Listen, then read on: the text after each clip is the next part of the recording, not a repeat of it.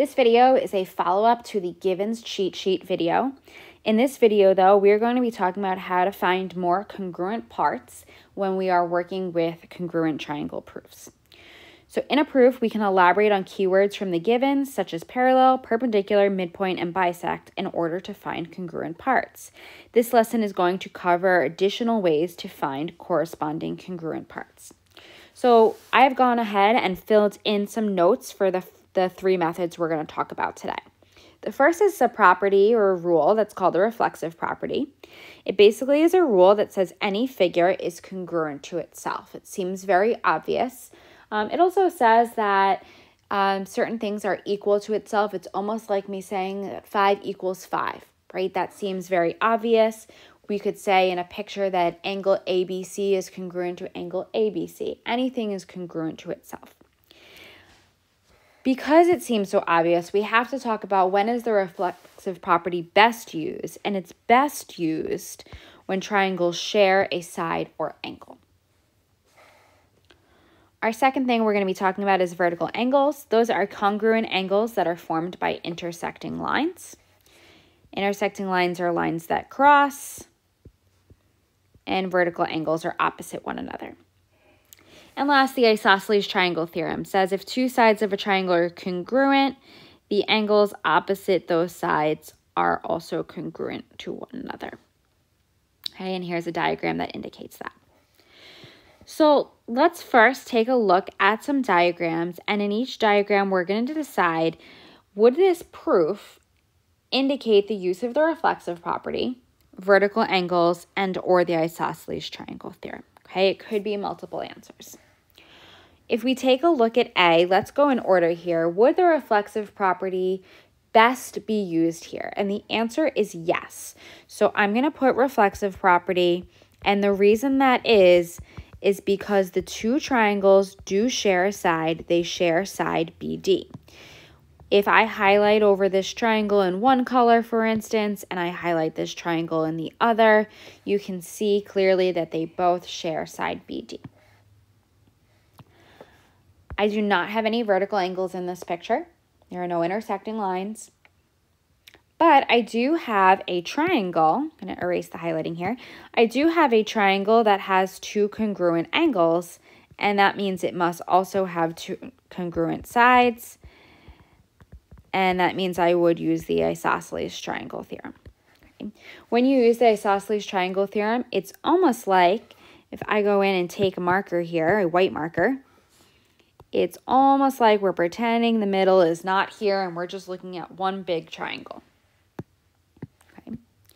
All right, let's take a look at another example here and see if we can figure out what applies. For B, I do not have the reflexive property because the two triangles do not share a side or angle. They do share a point C, but we're only looking for sides or angles.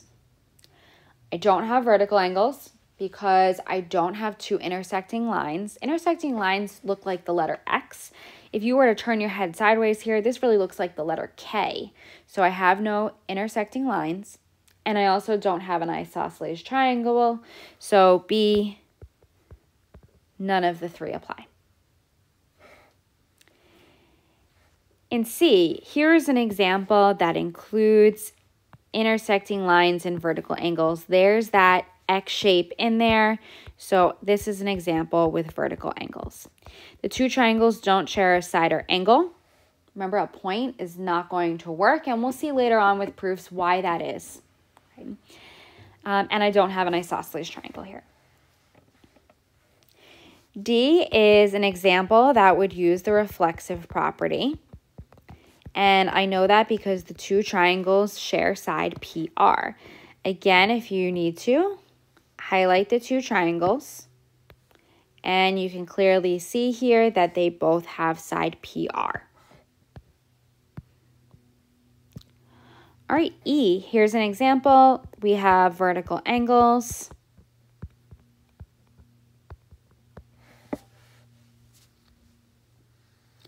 F would be an example of the reflexive property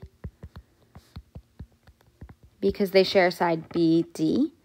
And it would be an example of the isosceles triangle theorem because the big triangle ABC has two congruent sides, therefore it would have two congruent angles. G is another example of vertical angles.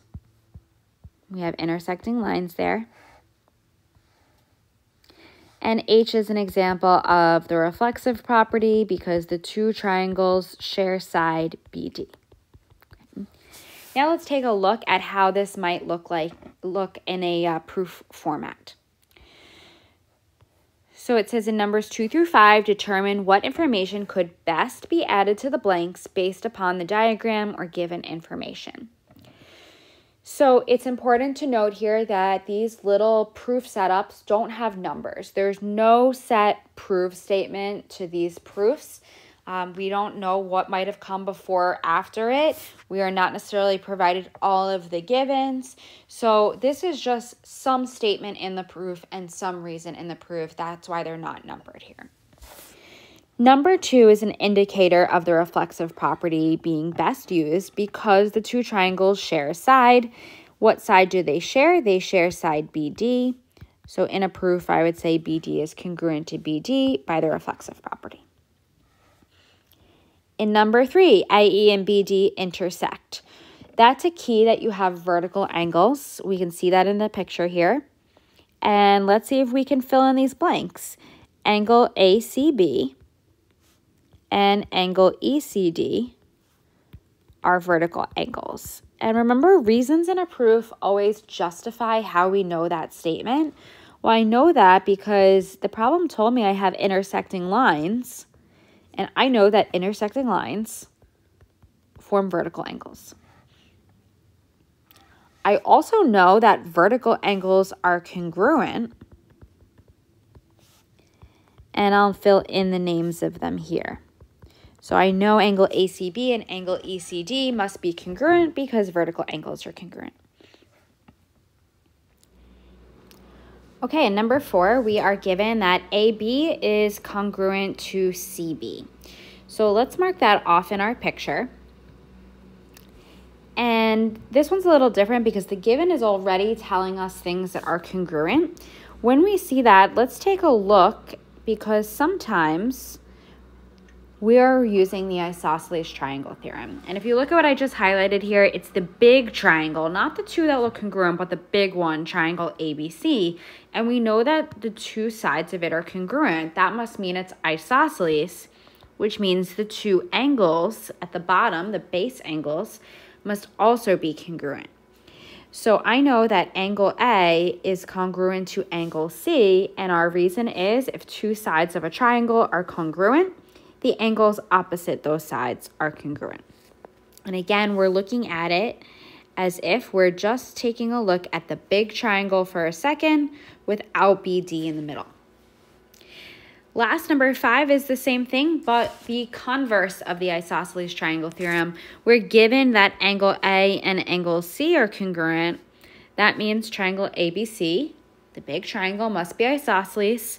And therefore, that tells me sides AB and CB are congruent.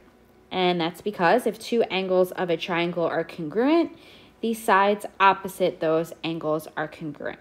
Okay, basically the reasons for number four and five just have the order of the words or the order of the two pieces swapped. So in number four, we were given the two sides congruent. In number five, we were given the two angles congruent. So this lesson taught us a little bit more about how to add on to proofs with your reflexive property, vertical angles, and the isosceles triangle theorem.